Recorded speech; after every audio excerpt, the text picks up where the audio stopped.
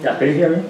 Okay, uh, unfortunately, uh, the way, way thing is, uh, I, in, I chair this section, uh, this is, uh, not lecture is, but, uh, I'm a former student of a speaker. okay, so, uh, so first of all, I would like to, uh, introduce, uh, David Hunter, uh, uh, the, uh, Department Head of Statistics to give an opening remark. Thanks, Vincent. So, uh, well, wow, suddenly it's a much bigger crowd than when I walked in here before. Welcome, welcome. This is the second time that we have done a marker lecture in statistical sciences. Uh, and, and, these marker lectures, well, actually, I just want to call your attention to a whole bunch of useful information about these lectures and our speaker that's on the well-produced uh, program that you see in front of you. And so before we go any farther, there's just a whole lot of people I wanted to thank. And fortunately, they've given you their names right on the program, right? So the folks on the organizing committee on the back here have done a great deal of work. Uh, special thanks to Kathy for helping to produce this program that you're holding, and, and Ling Zhou, who has just done an amazing amount of logistical work to, to make this all come together. So thank, thank you all very much, and thanks to the entire organizing committee that you see listed on the back of your program.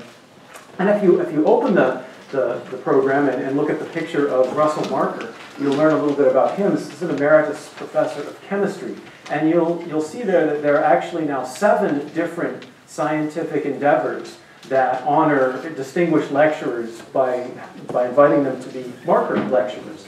Uh, it's roughly an annual event, and the statistical sciences that you see here listed as the seventh is the, the newest member of that club. And so, like I said, we have now, we're, we're joining uh, together for the second marker lectures. And I guess without further ado, uh, I'm going to ask our speaker to come on up because we have a, a small token to present. Um, we should probably stand over here for something like this. So, the Russell E. Marker Lecture in the Statistical Sciences presented at the Pennsylvania State University today, October 5th, 2017, to Jianqing Fan tell you a little bit more about Jianqing in a minute, but here's the, the presentation. Thank you. Thank you for coming.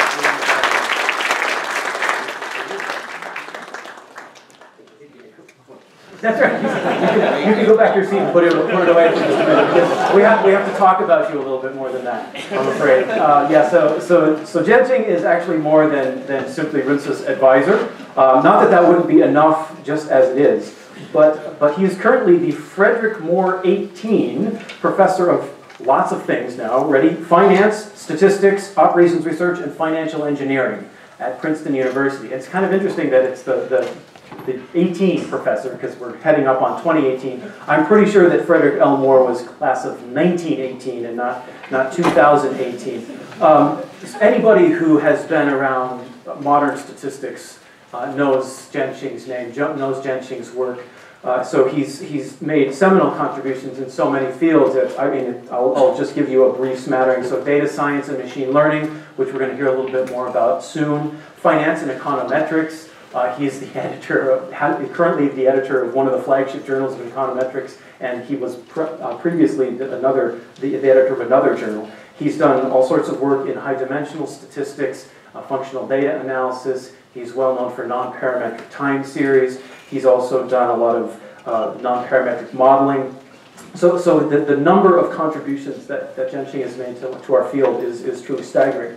I mentioned that he is currently the editor of the Journal Econom of Econometrics, one of the flagship journals. Previously, he edited the Econometrical Journal. I was afraid I was going to mispronounce that. And uh, of course, he was also the co-editor, the editor, excuse me, of our flagship journal, one of our flagship journals in statistics, the Annals of Statistics. He has edited probability theory and related fields. Um, and, and among other things, I'm now told that you are the dean of the new College School of Data Science at Fudan University. Just in case you weren't busy enough, you're, you're now a dean in addition to all these other things. So, so as I said, we're, we're going to hear a little bit more about data science from Jianqing in a moment, but, but I guess he's been in Shanghai helping them start up a data science program there. Uh, the, the awards that he has won to recognize his achievements are, are myriad. Uh, he is a fellow of the American Statistical Association, the American Association for the Advancement of Science, the Institute of Mathematical Statistics. Academia Sinica has named him an academician, which is essentially the same thing as a fellow. He is the 2000 winner of the COPSS President's Award, and uh, for those of you who may not know what that means, it's sort of our big award. It's, it, people sometimes describe it as the Fields Medal of Statistics. It's presented annually to one person under the age of 41 for, for outstanding contributions to statistics. He has also won the Guy Medal in silver in 2014. Uh, there, I, I, did a little count here. The, the number of Guy medals in silver that have been presented since 1893 are 88 right? So it's a fairly select group of people, and basically this recognizes a piece of work that was presented to the Royal Society uh, by a fellow of the Royal Society, and, and sometimes it also um, recognizes general contributions to the field. And, and if you go on the web and look for Guy Medal and Silver, you'll see that there are very many distinguished names in our field there as well. He is one of the winners of the first ever Pao-Lu Hsu Award in 2013. This is an award that's presented every three years to someone who, quote, makes influential and fundamental contributions to any field of statistics and probability. It's been awarded to a grand total of four people so far, and two of them have been Marker lectures here at Penn State in the statistical sciences, and your homework for today is to figure out who that other person is. Um, he has won other awards, the Morningside Gold Medal of Mathematics in 20, 2007, the Humboldt Research Award of Lifetime Achievement in 2006, he's a Guggenheim Fellow in 2009, um, and, and these are, are just the things that sort of pop up quickly when you either do a Google search or actually just look at the wonderfully produced program that Kathy has, has made available to all of you. So um, with that, I, I just want to say that I'm extremely excited about the talk that Jianqing is about to give. I was one hour ago, two hours ago, an hour and a half ago, listening to a talk on machine learning, a, a, machine learning algorithm that has been applied at Penn State. And I just kept sitting there in the audience wondering whether there's been any thought about the statistical pitfalls that could be inherent, because I did not get the sense that the users were all that statistically uh, sophisticated. And lo and behold, here we are at 4.30 getting ready to hear Jianqing tell us about challenges of analysis, excuse me, challenges on analysis of big data. And I wish I had heard your talk before I had a chance to hear this other one. So Jianqing Fan, please.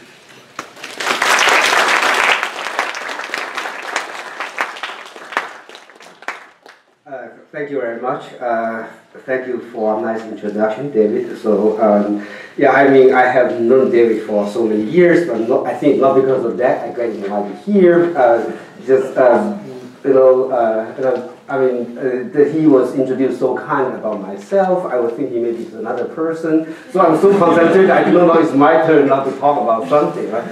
So, uh, yeah, so just adding to, to what David just said, right? So if you think that Princeton, you know, unexplored enough, and be also put as a know, professor of applied math and a professor of computer science, right?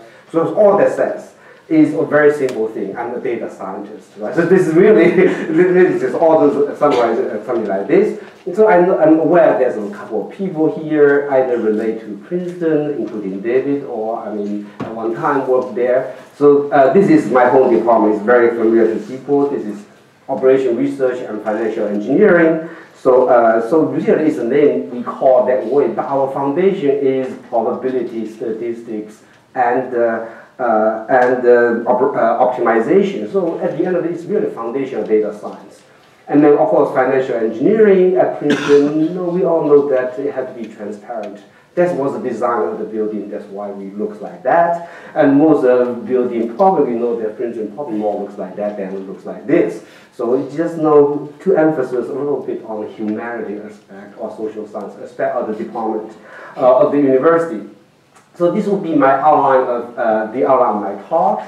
Right. So since it's a public lecture, so I'll give you know something that you already know. Right. So rise of uh, big data and then I'll brief talk about uh, big data and society, so just to give you uh, a little bit more insight what is big data for, why is a big deal, and what's relation with nowadays people call artificial intelligence, really the same old days, uh, the same, right? I mean, uh, and uh, like, I mean, uh, and then of course, um, these kind of things certainly have impact on something that you and I are care about, on the system and, and analysis. And in particular, I'll talk about a little bit more statistical, right? Because I'm a statistician here, so I'll talk about spurious correlation and Google Flu trend. Right? So we, well, I'll talk about, you know, how do we do, you know, robustness, and high frequency trading, just to do some of these. Right? And then lastly, I'll talk about distributed analysis and some privacy issues, and then I'll just summarize what I have said. So let me begin with the introduction. Right? So data tsunami. So information technology has revolutionized data collection process. Right? So millions of surveillance video cameras, billions of internet searches, social and social media chats and tweets right? produce massive information that contain vital information about security, uh, public health, consumer preference, business sentiment, economic health, and many others. Right? So this is useful data. How do we turn data into value? Right? So billions of prescriptions uh, and enormous amount of genetic genomic data. Uh, information provide us with critical data really needed for uh, uh, for health and for precision medicine. And of course, in science, there are numerous experiments and observations in astrophysics and geosciences. Right? So they give rise to big data in science. So certainly, if you uh, do Google food, uh, Google uh, trend search uh, big data, right? so big data certainly uh, increased exponentially since 2011. Even as we speak now, still I mean you know, has a trend of increasing, at least not dying down. Right? So in terms of data size, I mean, we know that uh, there's a famous quote by Eric Schmidt, of, uh, CEO of Google in 2010. So they say, uh, it said there were five exabytes uh, exabyte of information created between the dawn of civilization through 2003. Uh, but that much of information is now created every two days. Right? So this emphasis on the speed and the volume of, uh, of the data, and then of course in terms of value of the data, so data are becoming the raw materials of business, right? So this is saying about the, the value of the data. But of course, I mean, being as a statistician, right, I'm really quoting my our friend, right, Gary King's uh, uh, quote. Uh, so basically saying, uh, big data is not about the size of data. So I guess he must be meant at the end of the day, is a decision we have to make, right? So we really need a small data. It's really the analysis that, uh, I mean, by the last part, the emphasis on the analysis aspect of the data.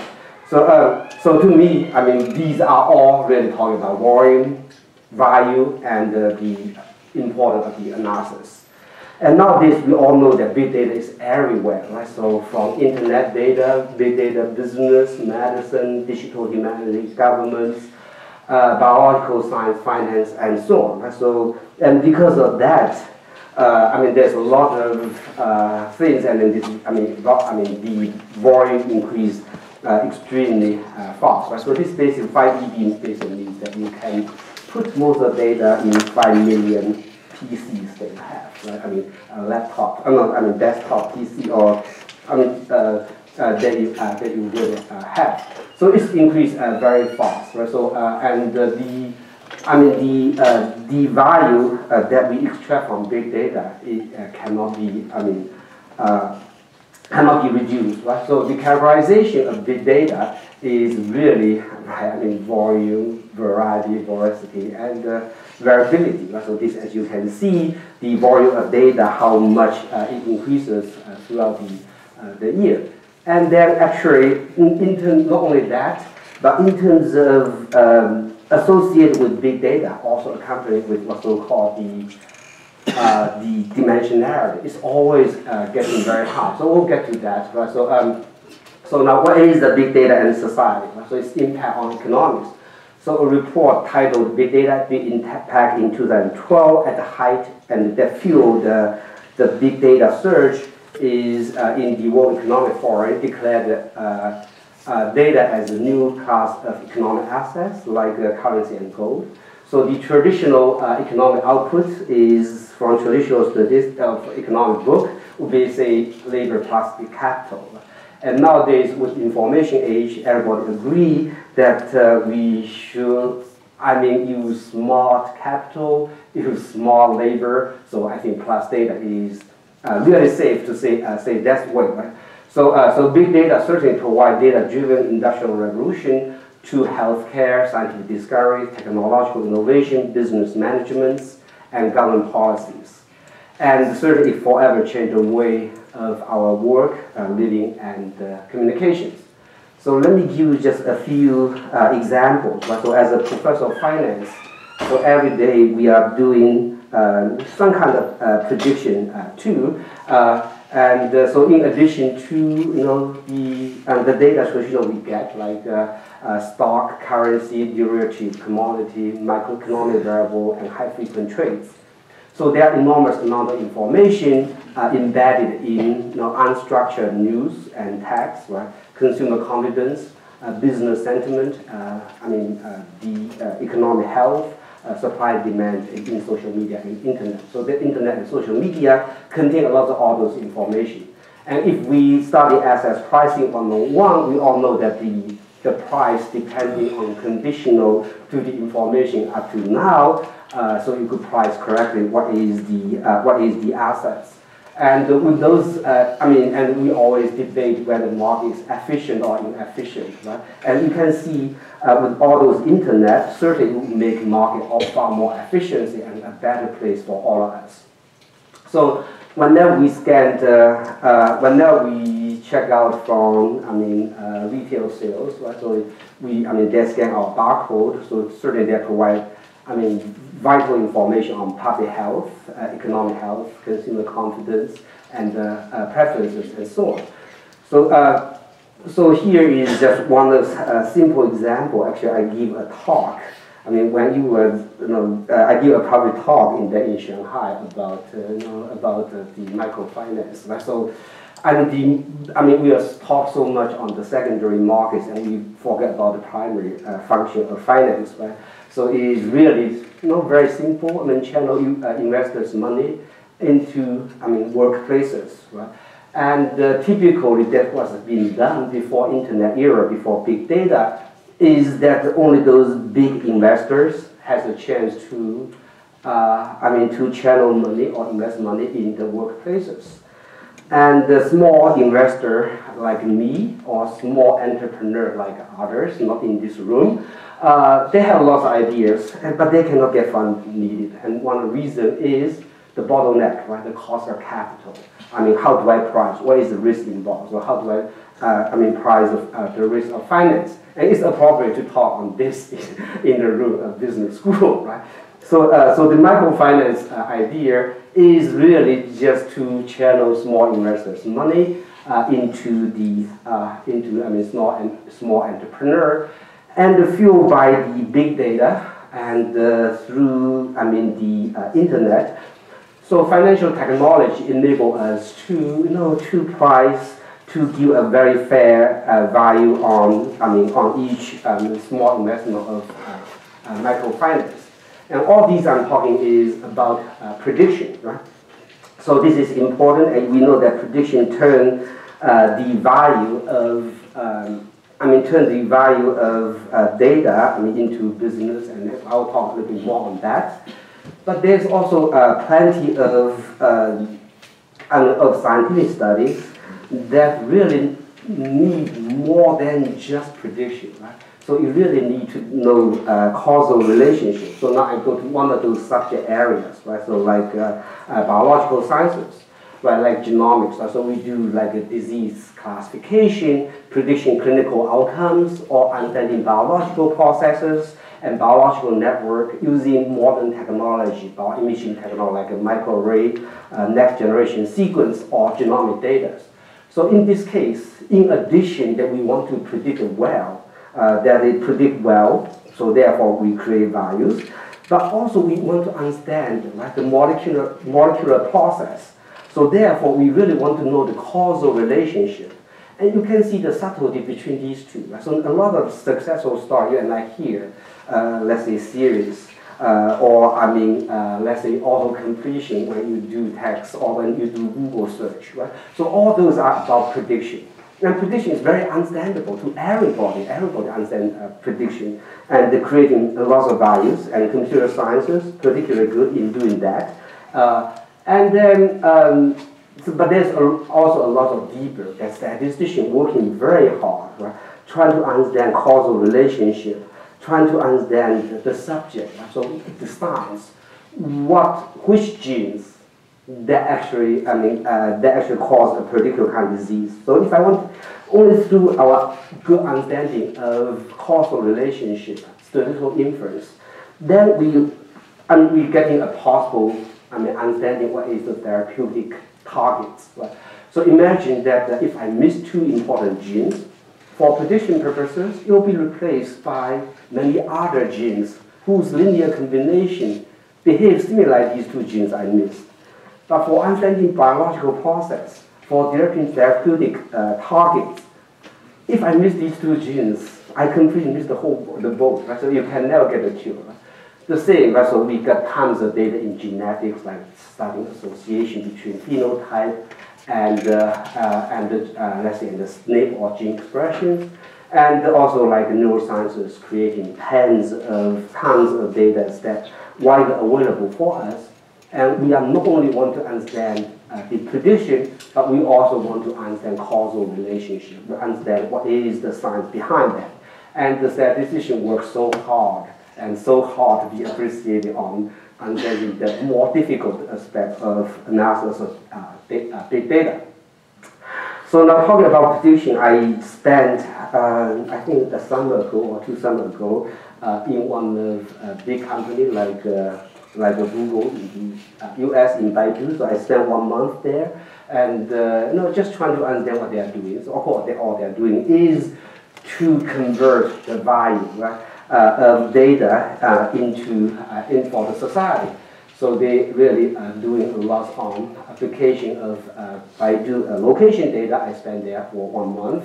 Uh, so they basically each day they have one billion uh, I mean location requests and uh, they trace the users. Right? So really they understand who is who because I mean every time I I use similar IPS or similar location, so they were able to uh, trace in uh, 2 billion uh, users, and then each database on their, I mean, uh, map requesting data, and if you can combine, when I in Shanghai, can combine the mobile data, you can do your location much, uh, much better. And they use this to do, right, I mean, a so-called smart city, like public safety and monitoring, and, and so on. They use it to do business analytics, right? Starting from map, map query and locations, know that people like pizza and how, how far they have to go to get a pizza, right? And then finally, you know, they optimize the location, what is the business, you can, they can predict the, uh, the future uh, revenues. And then again, based on the, uh, I mean, Baidu trend uh, for searching of the, uh, let's say, interest in a particular stock, they were able to get in the momentum of stock, right? And then uh, uh, like limit the, the, universe of the stock so that they could uh, combine with traditional investment theory to get a better uh, results. And interestingly, after we were talking about this, the, the Baidu trend used to be over, just like Google trend. They see the value of that, and they're taking these away. So there's no longer is accessible to me and to you, only accessible to Baidu. Right? So whenever they see some value, they took it uh, away, uh, and so on. So, um, so this just give you a few examples of how uh, big data will relate to our everyday life. I mean, from uh, scientific uh, I inferences to predictions to converting uh, data into I mean into the uh, into the societal values and making a decision for us. And then of course they do similarly based on the uh, I mean, the query that people made, plus some kind of medical knowledge, they're creating what's called internet uh, doctor uh, for that. So now let me talk a little bit on impact on the system and, and the analysis. So, so big data certainly and impose great challenges, right? No-brainer, storage, communication, that you cannot just communicate data from Shanghai all the way to New York, and uh, it's just too big and unsafe. And analysis, right? So, and it has changed many aspects of computer science, statistics, uh, computation and applied mathematics, right? So from hardware to software, uh, from storage uh, to uh, super uh, computing, and certainly from the know, database to data uh, securities, uh, from data communication to parallel computing, from uh, analysis to so inference and modeling, right? so data analysis. As I said before, Gary King said, right? I mean, big data is not about the size of data, right? right? So from scientific computing to optimization, so certainly has a huge influence on all of us, right? And the best way to describe all of us today here is to call ourselves uh, a data scientist, right? So I myself, as I said, is not anything special. I'm really working just as a data science. So therefore, from this very point of view, I was economic and finance professor uh, and financial engineering. But from you know, mathematical understanding point of view, I'm a applied math professor. And uh, from machine learning, so from machine learning, I'm a computer science professor. So this is how we actually been uh, together, and all these kind of things cannot separate each other. And I feel I'm very lucky and happy uh, to be in you know, part of uh, this, right? So the, I mean, all the efforts, right? So all the efforts that we trying to solve uh, these kind of problems, I would call the uh, data science, right? So I think I basically engulfed or surrounded by the applications. I think the application should be the primary, right? So then the fundamental core of data science, to me at least, it uh, consists of systems like a data acquisition, storage, and communication. And then, of course, uh, I mean, then data, big data analysis. Uh, a lot of these uh, relate to statistical data analysis. Some of those even not relate to statistical data analysis. And then whatever it is, accompanied with the, uh, with the uh, big data is always have this huge scientific computing in order to achieve this. So you'll see there's some very simple problem in precision medicine I mean, I still cannot get in a very good uh, computing for this, right? So now the next issue people naturally ask is, so what big data can do at the general or abstract level? So to me, I mean, good uh, big data hold great promises for understanding. First of all, I would say heterogeneity for, let's say, precision medicine or services or precision uh, marketing or precision acts in general. So we basically with large amount of data, we try to, uh, I mean, dissect population into many subpopulations. And each subpopulation requires different kind of services or, I mean, all, or treatments. And, and uh, this is always done from, I mean, very large pools of variables, factors, genes, environment, and their interactions. So, so you create a very, and there are lots of latent factors that you even do not observe uh, that, uh, but that influence all the, uh, the outcomes. So, I mean, a very simple decision we want to make is given a disease, somebody are good for chemotherapy, somebody are very harmful to the chemotherapy. So we really want, with big data, give us a chance to understand heterogeneity. So in the traditional case, if I see one very extreme case out of 1,000, you and I more likely than saying this is an outlier. We do not know whether science, a specific special group that we need a special treatment, or or is uh, or is just a random kind of errors, right? So with a million data, I see 1,000 cases. You know, I mean, there are some science behind that, right? And then the other one is certainly commonality, right? So with the big data that we have so big, uh, so that uh, we could understand, you know, some of public health issues or some issues uh, I mean, very weak signal, but you have very large uh, individual uh, variations or noises, right? So as uh, as a French, people say, well, drink wine per, uh, per night, or each, a drink per night help your heart. Right? As a Chinese always say, drinking tea, does it help your uh, health? Right? So these kind of things, usually you need to study, let's say, 20 years among half a million people. Right? So with big data, we could certainly uh, I mean, uh, making these, uh, I mean, scale much smaller and, and so Now, big data always accompanied with big dimensionality, right? So for example, if I just talk about 5,000 genes, uh, then the interaction of, I mean, of two, two terms interaction of 5,000 genes already create me uh, uh, 12.5 million features or variables, right? And if you're talking about three-term interaction, you're getting even way more than what I just present here. Yet, I mean, synergy of two genes or three genes are necessary, I mean, for, I mean, scientific uh, discoveries. So therefore, I mean, we really deal with a huge uh, amount of, uh, I mean, a huge amount of variables that we are searching a lot of uh, uh, amount of variables from those. And at the end of the day, of course, um, uh, of course, it will have impact on our analysis, right? Uh, is your discovery real or, or I mean, our is discovery spurious? Because when you're finding something, you always find some patterns. And uh, and I mean, I'm lucky enough. I used, used to have a slide to show how I grow with with dimensionality. Right? So when I was uh, I mean teenager or early 20s, I was doing multivariate analysis, and uh, that um, that was based on three to five variables, right? Just traditional like trying to trying to, multivariate analysis, and then come with revolution of digital data like a CD compact disk.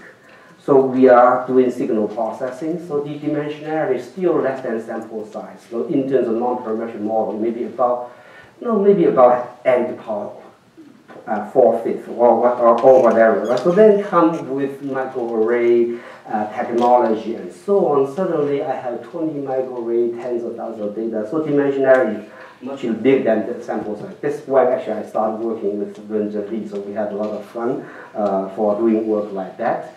Um, and uh, nowadays, I mean, of course, we deal with both big data uh, big dimensionality and a variety of data and lots of measurements is, uh, uh, is pretty crude. Right?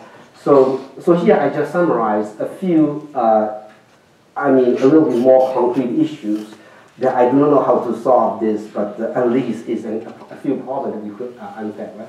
So when we talk about precision medicine or precision X, whatever precision marketing, right? So what we have in mind is given very high dimensional uh, features or covariant X you have, right? you ask yourself, uh, what is the probability that pers particular person belong to the first group, right?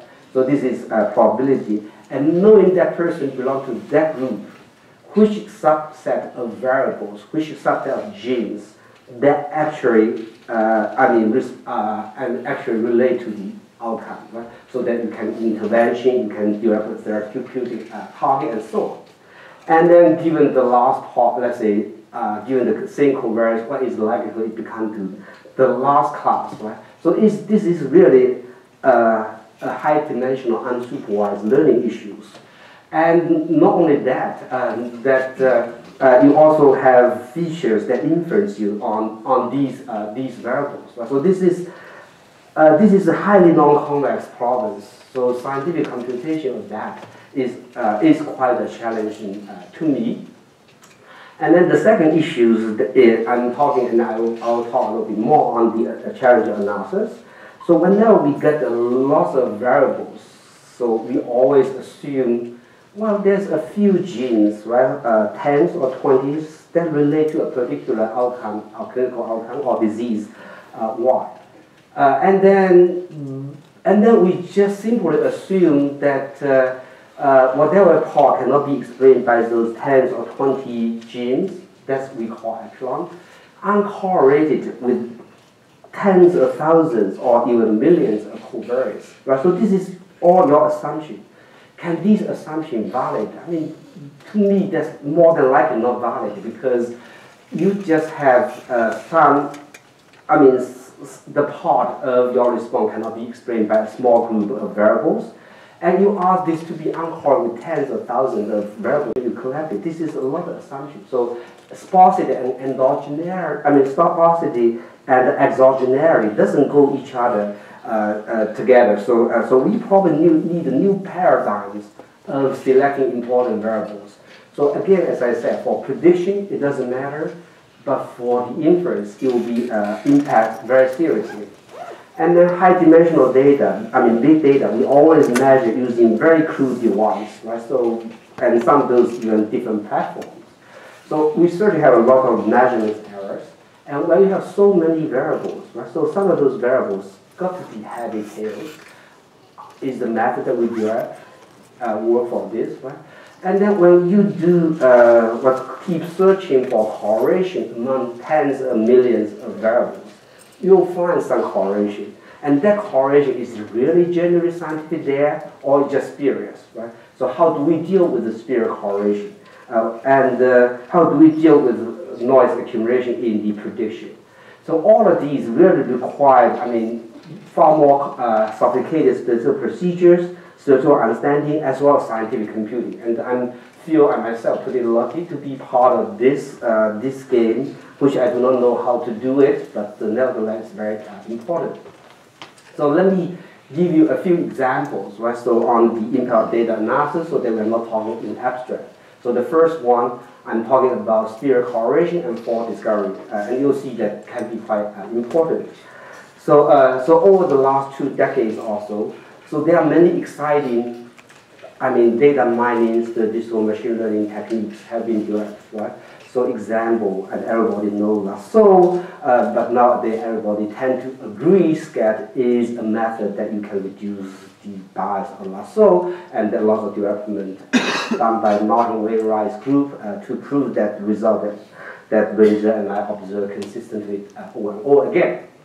And uh, so I introduced uh, to associate a set of covariates in, uh, from a large pool of, of from a very large pool. Now, a natural question you ask is, can discovery be spurious? Right? So this is a very natural question. So let me give you just a very simple example. This is by far not exhaustive. You can, any example you see, I'm pretty sure you'll observe very similar one. So I just take uh, the data, right, gene expression of 90 Asian, you could take Caucasian, you could take any other, result be the same. From an international HapMap project, so I have a sample size of 90, and they measure gene expressions for you know, different probes. So for I'll call genes uh, in my uh, talk. And in particular, I just take one of those, right, also uh, that relate to uh, nicotine. Okay, at one point, I was smoker, uh, a smoker, so I'm no longer one. But uh, so I just say, ah, so let's, let me take something related to nicotine. Right?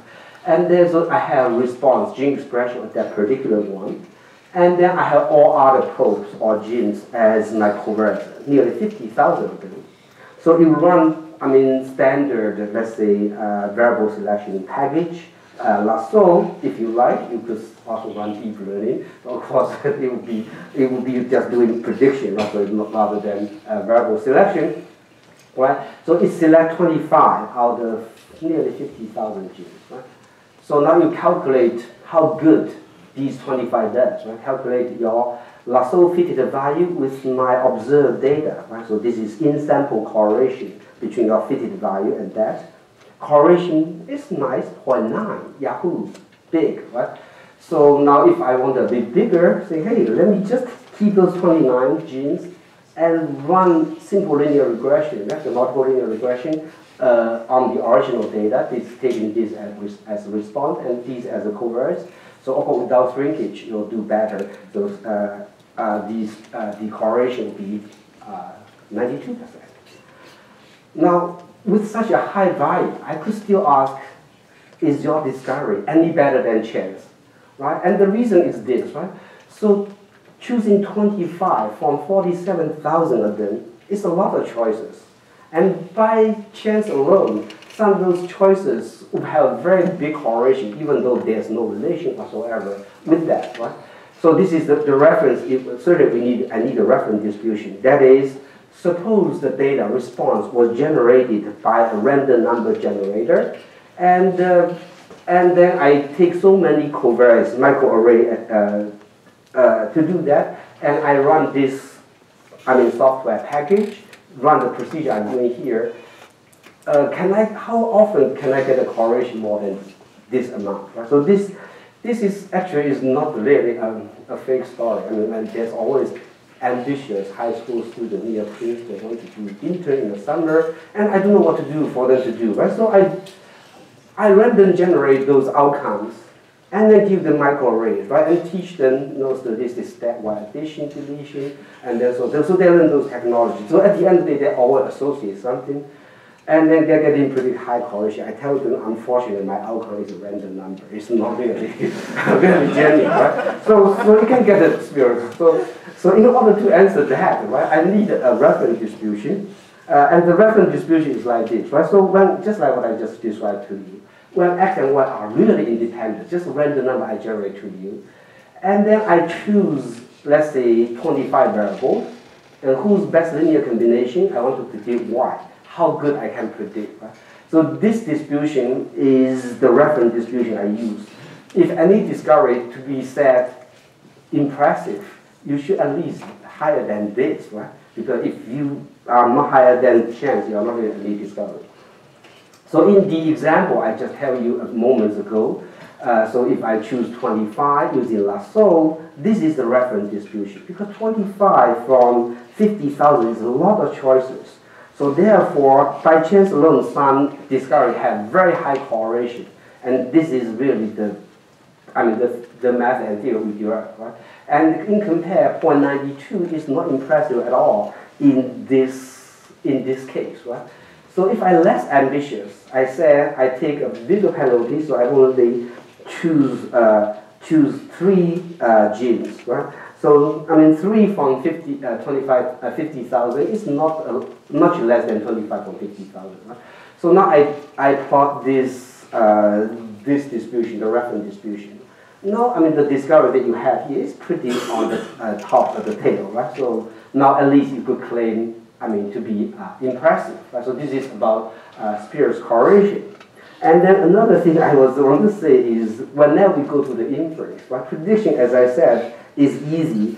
Uh, but whenever we do scientific discipline, either economics or finance or, or biology or physics or psychology, right? So we really want to do, uh, I mean, we want to really do social inference. And we do inference based on, I mean, based on lots of assumptions. So in the uh, lasso or SCAD that we were doing, we assume some kind of exogeneity. Remember, I say exogeneity, and sparsity doesn't go well. Right? Uh, uh, and uh, so at least, so this is your fitted value, right? So this is your fitted or selected variables. I compute the residuals, right? And if model assumption is reasonable, the correlation between these two should be very small. So I have 50,000 of this. So remember, I have 50,000 variable and this is my fitting value. So I plotted the distribution of uh, uh, distribution of my 50,000 correlations with the residuals for each, each of these variables. And the overall dispersion is clearly seen. So if under null distribution, it should be look like this, and what you see is like this. Right? So you really don't need to apply any complicated test. Just by using eyeball, you know that, uh, I mean, uh, the assumption that we made for valid inference of lasso and SCAD is validated. So we really need new paradigm, new ideas to, to do this. And then, uh, yeah, and then I have some idea, but never been able to compute well. so it is, yeah, so, uh, so I'm just saying that all these problems are there. So now let me just use, say, how spurious correlation uh, could lead to, I mean, wrong prediction too, even though I said spurious correlation could lead to, uh, I mean, wrong prediction or bad, uh, bad, I mean, bad sign, bad inference. But it can also lead to uh, bad, uh, uh, I mean, bad prediction. So this is the, I mean, Google Flu trend. So it was very popular. I mean, launched in November 2008, and it uses, I mean, the query that people search, right? So like Google Flu trends, and trying to predict uh, uh, the uh, in uh, in influenza-like illness or physician visit kind of ILI. And uh, so it's a very simple logistic regression. So logistic regression, the variable you put here, Q, uh, is really the top 45 uh, search items. I don't know what those to, relate to, I mean, to the fruit, And then divide by entire world. So really it's just a normalized uh, I mean, public concern on those 45 terms, right? And uh, using this to predict percentage of, uh, of uh, fruit. And the y is 45, and, and, and this is proprietary, certainly not new to me, and, and, and uh, uh, so that they only they say 45. So this is the 40, and y is 45 because the correlation, I think, for uh, our sample uh, fitting is the uh, is the uh, is the the best, right? and then as and then they know that one thing that they know that if they increases more, let's say to 80 turns, correlation drop. I mean very closely to this. Right? They know the 81 turn is uh, related to Oscar nomination. So at least they know that there are some terms, right, happen to be searched like Oscar nomination still correlated with uh, influenza at, the, uh, at that time. So they, they take uh, top uh, 35 uh, turns. So how does it uh, how does it work? When it was launched, I mean, predicted very well. Right? So indeed, two or three weeks ahead of traditional clinical track systems. So of course, when you do that, it makes a big splash. Right? So so the, the group, I mean, is led by Dr. Brilliant, right? So very brilliant uh, person. I mean, that, that really, right? So published in the Nature uh, and, and, and so on, right? Brilliant idea, certainly, yeah. And then, of course, New York Times uh, says that, uh, well, I mean, well, it's uh, very promising results having, uh, I mean, comparisons. So the predictions are beautiful and nice, and then many untold lives can be saved, right? And so. So now the, I mean, the first discrepancy starts to occur, right? So it's, uh, so it's a big, uh, I mean, discrepancy between Google Flu Track and the actual data uh, done by CDC. Uh, uh, and this is, uh, so this, this is the, I think about H1N1 or something, uh, the, uh, the uh, H1N1 pandemic, right, off season, so it was not pretty well. Of course, if something not pretty well, you know, engineering, we could try right, to modify it. So they delete some of those search terms. I don't know what been deleted. Uh, so, basically, it's also to reduce spurious correlation. Now prediction getting you know pretty much better. Now until you know some big discrepancy happen again. Right? So now I think they probably say it's time to quit. Right? See, the rule of and uh, something like that. Right? So this is just an example showing that, uh, oh, but this is Sanko of Harvard's picture. So, uh, uh, so this basically, uh, I mean, uh, showing that, uh, right, I mean, spurious correlation can also make you doing Spear's or worse prediction too. So this is just a simple example. Before I say spurious correlation can make you doing pretty bad inference. So this is, so it's important to understand spurious correlation. And the statistician particularly good in understanding this. For years, we were trained to do that, right? Now, the next one, I'll just talk about prediction. Again, talk about simple principle can make you prediction uh, much better. So this is heavy tail distribution. It's really everywhere in of machine learning because most data was scanned or was done in, uh, in pretty primitive device, right? So uh, there are documents by all financial returns, macroeconomic time series, uh, high throughput like micro put young FMR, they all have, you know, have heavy tails. Now, when you have tens of thousands of variables or millions of variables, like chance alone, right, some variable will have heavy tails. And this is pretty odd with you know, academic assumptions, say, well, tail are sub-Gaussian, sub-exponential, and so on. So this is pretty odd.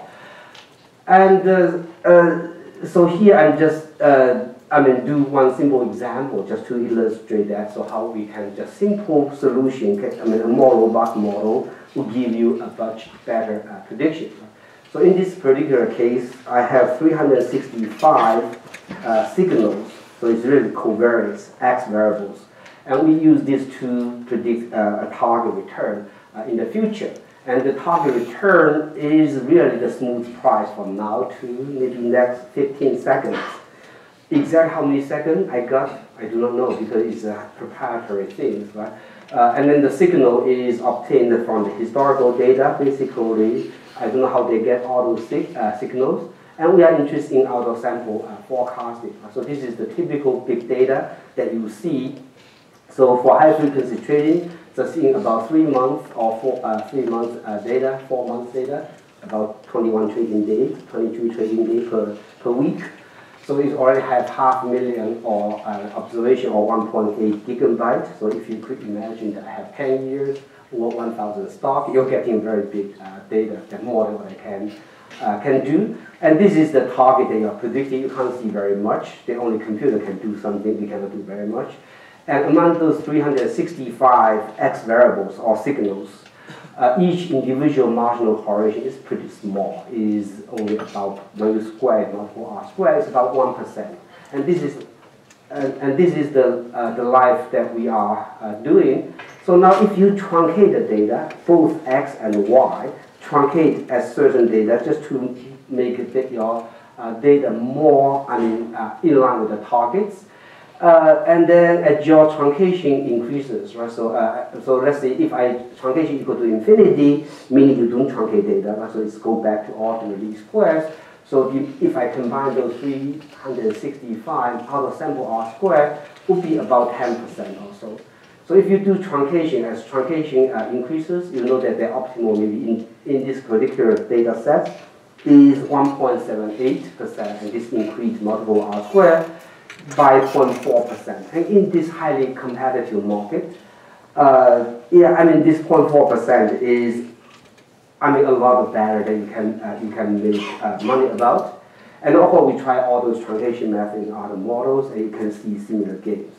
And then we have uh, similar predictions about uh, uh, truncation of using, I mean, predicting, let's say, bond risk premia, I mean, using the uh, macroeconomic time series. This is 131 macroeconomic time series disaggregated, plus those eight uh, aggregated uh, macroeconomic time series, such as, uh, let's say, GDP, right, CPI, right, uh, uh, and, uh, and others like personal consumption, and so on, and, and so forth. Right? So again, if you if you do, I'm trying to predict the output, and again, if you do robustness by just doing simple kind of truncation, a little bit better than truncation. So we extract the latent factors through principal component analysis from those 131 disaggregated macroeconomic time series, and then just regress your output on uh, aggregate time series plus those uh, plus those uh, eight uh, uh, I mean extract time series. So this is really a principal component regression, uh, principal component regression that I'm doing here. Uh, so at the end of the results, here is the, the baseline can compare. Right? So again, the detail is not very important. If you're just doing ordinary one, so multiple R squared is only about 24%. And if you do truncate or more, more robust version using exact similar technique, multiple R squared jump to 37.9. Right? So if you predict three years maturity from 21 to 32.6 and so on. So you can see that uh, if you have more robust model, you can really uh, predict uh, better. But now how can we do this for more complicated like deep learning and so on? Right? So it's another issue. So the last part I want to talk is on the uh, on the analysis on the uh, impact of uh, I mean data analysis right on storage, communication, and privacy issues. So I have happened to write a few papers on this, so I just say a few words. Right? So so uh, computation challenge of big data, I mean the certain processing power required to manipulate big data surpass that of standard computers, and we really need a new paradigm on optimization computation statistics. Right, so and then very often nowadays data being in script, right? So we really have difficult to, you know, like traditional statistics, you cannot just turn data many times because every time require a lot of time to read all those, uh, all, all, those data. And uh, one of the uh, popular studies, uh, I mean, uh, I mean network or I mean computation architecture is is this, right? So you have, let's say, many node machines, and then you have a central server. Uh, and we all know that the communication is very expensive, right? So uh, we do not try to uh, communicate everything to the central server. So, do, so Google do not send all the data I mean, to the uh, central server. So everybody know the machine keep their own, uh, data. So this way, of course, help solve storage issues because data are disputed. Right? Help uh, computation issues because each node machine can do computation. Help communication issues because I'm only asking uh, each machine to communicate certain kind of computational results in order to communicate the whole data set, only very partially. And most importantly for me, uh, I mean, that relate to, I mean, one hard to solve is uh, privacy and ownership issues, right? So if you ask individual to send in data to, uh, to this node machine, people will be very concerned. Uh, so if I, I ask you just to participate by sending, you know, uh, let's say analysis results, I mean people would be, uh, uh would certainly be less concerned. Right? So this really help self uh, privacy or ownership issues. Right? So this kind of architecture is a non-invasive way of dealing with uh, big data. Now the question arises as there's issue, right? So you do not own all the data. Can you really get in a very similar result as if you own the uh, own all the data, right?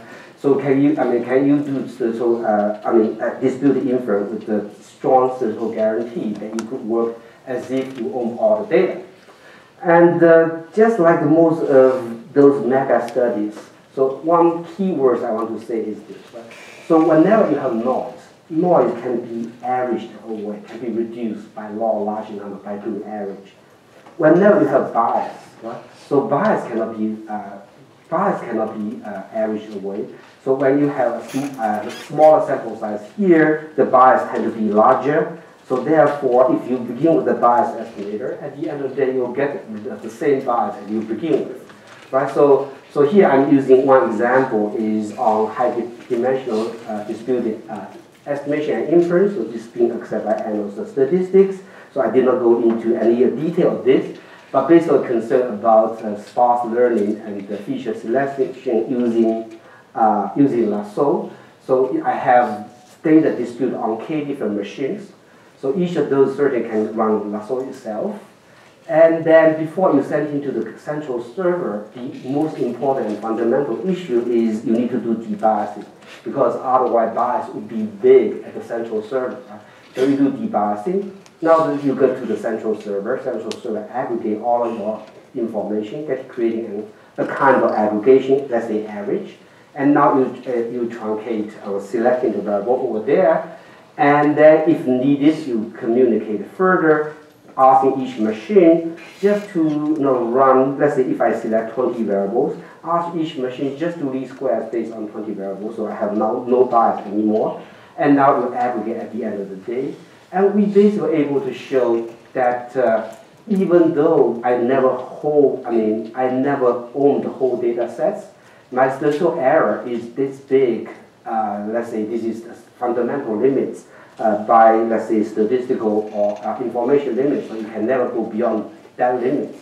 And now if you do just distributed inference, as I said before, the error here is much smaller than error here, so therefore for error to here is negligible. So this is really uh, basically showing that if you do debiasing early enough, uh, I mean, even though you without owning the whole data sets, you are able to do as well as if you own the whole data set. So this shows us, I mean, just one example, right? So it's possible to do distributed inference with the guarantee, and uh, an architect like this uh, can help you solve a lot of issues. And of course, there are more complicated ones than that. I'm just, uh, I mean, there are more issues than that. Just uh, one example to show you, uh, because of big data, we really need uh, some kind of big and and uh, uh, innovative uh, solution.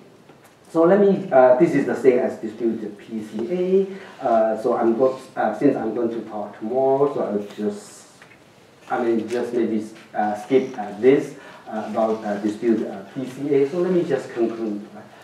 So what did I say? so I basically say big data hold great promise to for the discovery of heterogeneity uh, and the search for personalized treatment and precision marketing. Right, so it allows us to find uh, weak patterns in presence of large individual variations. So it provides new resources for economics, new evidence for scientific research, new information for decision and uh, policy making. Right, and uh, of course, as data scientists ourselves, uh, there's lots of opportunity for us. Right? So it's posed great challenges on storage, communications, and uh, analysis. Uh, that's all I want to say. Thank you.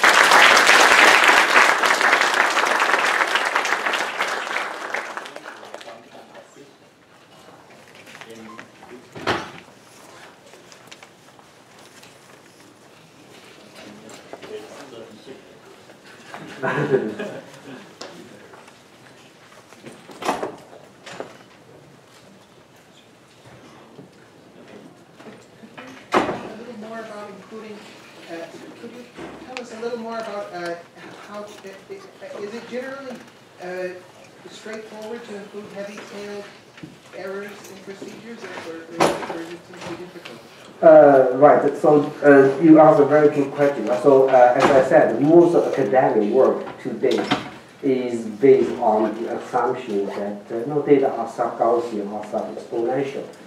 And then I think we wrote uh, a paper on the title even called Principle of Robustification. So we basically give two different kind of principles. One is that you, uh, you truncate on the data. Uh, for some problems, truncate on the data is easier, and this is an example, one that I show you when I do uh, high frequency financial prediction. And the other one is you can truncate on the loss, that would be called Huber loss. And we did not use the name called Huber loss, we call adaptive Huber loss because Huber loss is, was always used to deal with maybe robustness uh, against like symmetric error distributions. Because now when my estimation correlates matrix, so the distribution cannot be symmetric because any square random variable cannot be uh, symmetric. So, uh, so therefore I need to, uh, yeah, I need to let truncation data to reduce the bias, but on the other hand, doesn't rely too much on the tail. So there's a trade-off between robustness and tail, uh, and there's a general principle on that. So if you are interested, I could point some reference for you. Yeah.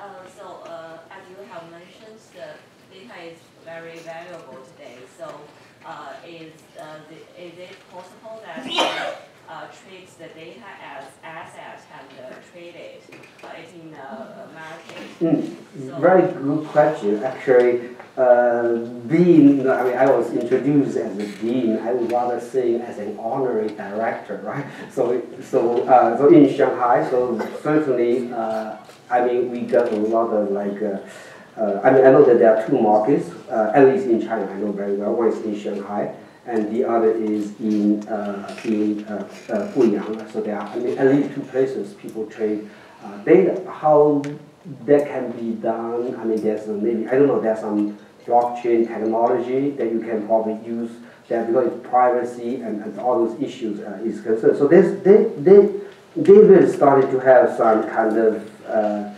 uh, I mean, exchange markets there, and uh, we do even some of my colleagues do collaboration with them to design those mechanisms uh, to ensure that data only being used for the intended purposes rather than beyond. So there's a lot of uh, complication there, but uh, uh, the trading uh, of data is already beginning. And in, in, in a sense, right, so when we I mean, buy data from Bloomberg, right? It's a, kind of trading. I don't sell, I cannot resell data to another person, but it's a kind of uh, trading already over there. yeah.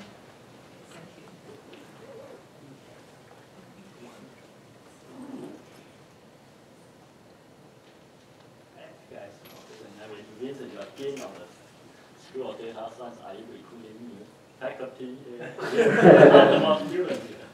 Oh, okay, so sure. I mean, this is a very good question. So, uh, I mean, you know, you know, Chinese is always a Google scale, right? So, so I mean, I mean, in five years they want to get uh, 50 faculty, right? So, uh, so starting from zero, uh, so we already have uh, operated like they already have operated like for about 18 months. So we have right on the target. We have already 15 people there.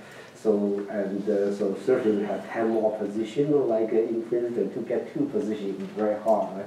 We have 10 more positions there, and certainly welcome anybody who are interested to apply.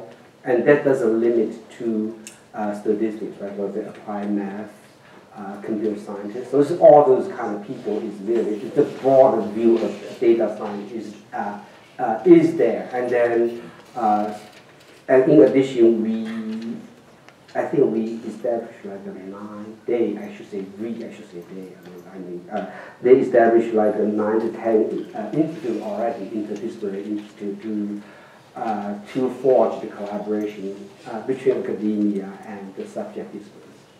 The answer, quick answer is yes, welcome, and uh, please do apply. So, Yeah, So to, to follow up on that, so where is the leadership coming from? The computer science side, database, from statistics, and Well, uh, for uh, data science? Uh, Yeah, so yeah, this is a very, I mean, a very good question, right? So I think, uh, I mean, everybody has a place to play. Right? So at Princeton, so when we created a study of machine learning, nowadays probably more like data science. So original vision was, I mean, co-directed by the uh, by machine learning person and statistic person at the time. Uh, intended to be like the Robert Schapire myself.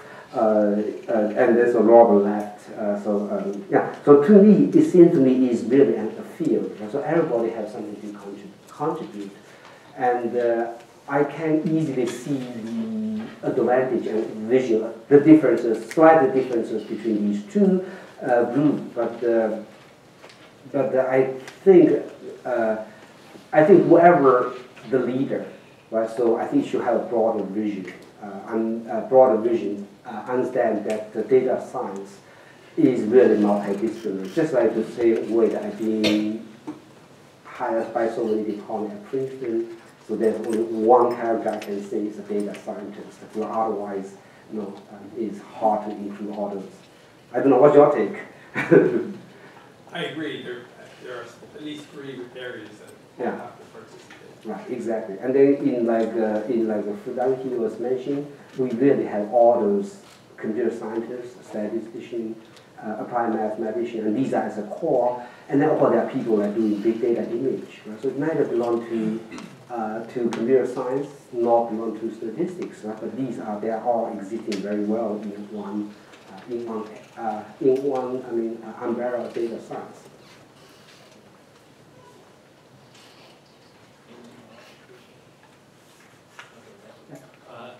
I'll ask a more statistical question.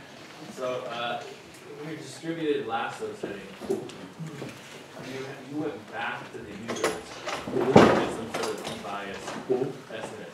I, guess I'm just sort of wondering, did you ever really need the initial estimates from the users? Because in the you sort of go back and say, I want these guys, them, just estimate them.